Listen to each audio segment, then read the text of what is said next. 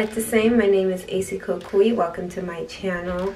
I have a new video for you today. Today is another episode of Growing Up African and I'm going to be talking just a little bit about my mom because Mother's Day just passed and why not celebrate my mom and just who she is as an African Ghanaian woman in America as well as the woman who raised me. So let's get into it. Don't forget to subscribe, like, comment, share, all that jazz. My mom doesn't like attention like this. She doesn't like me talking about her like this, but still gonna do it because it's my channel and sue. Uh, just kidding. Basically, I'm not gonna give too much information, but basically, um, my mom is a psychologist and she went back to school um, I think around when my sister was born. She went back to school and she studied psychology and then she got her PhD. And, um, you know, during this whole process, I don't, I guess when you become a psychologist, you have to do a year.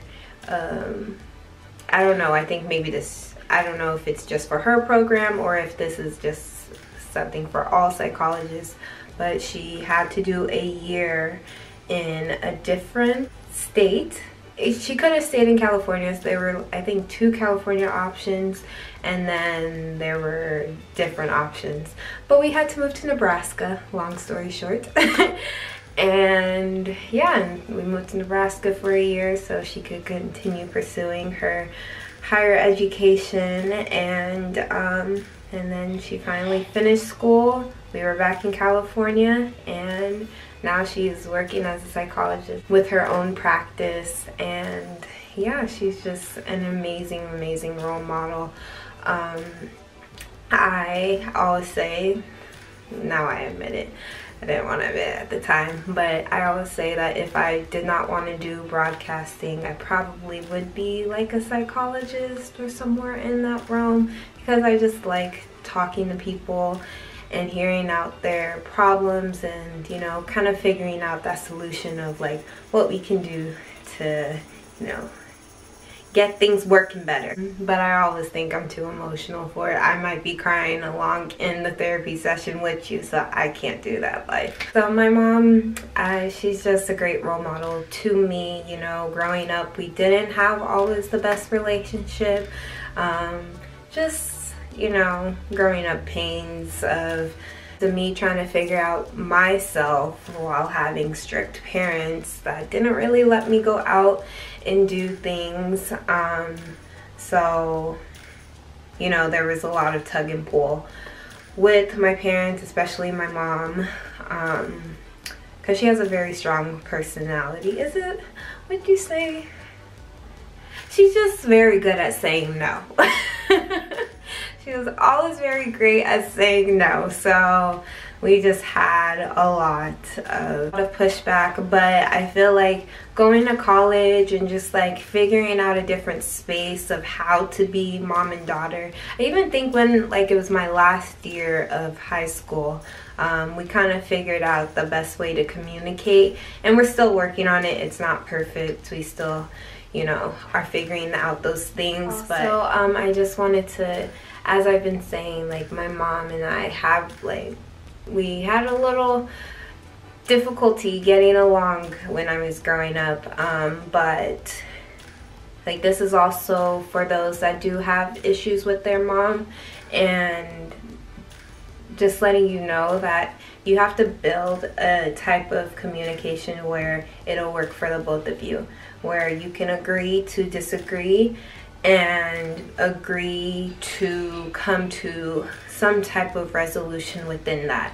You have to be calm and you have to um, also have an open understanding to where they have come from, um, what they had to experience in their childhood as well. And if you don't know, ask and see and try and get that perspective as well.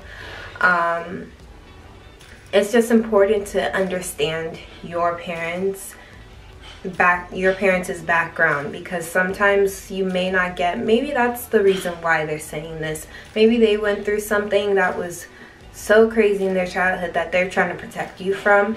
And so you can kind of have a better understanding and maybe come to a resolution of what you can do better. But i'm so thankful of you know where we are now and where we're going and yeah I love my mama. I absolutely love my mom and I appreciate like how much she has brought me um how much she's supported me, how much she's been there for me.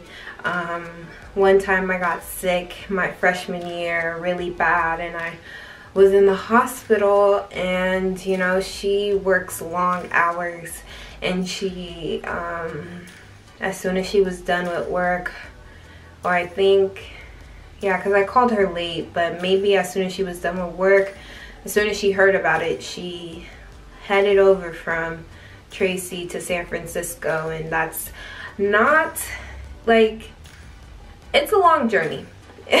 It can be a long journey because of the traffic during you know rush hour and just like all of that. And but she made her way out there. I felt like it, she came pretty fast dealing with all that traffic and stuff like that but she came out all the way and she just came to see if I was doing okay and you know she came and got me and I um, had to come back to Tracy for a little bit. Yeah, she's just always like gone out of her way to help and make sure that I was okay and safe and I just honestly wouldn't trade my mom for the world. Um, and yeah, she's just a great mother. My mom just always made it possible for us to, well, it was both of them, my parents. Um, they made it possible for us to be able to experience Ghana. This is just like an appreciation post of my mom and thank you so much for giving birth to me and I hope that I make you proud every day. So. Thank you guys for watching. I know this isn't the conventional growing up African story. Thank you so much for watching.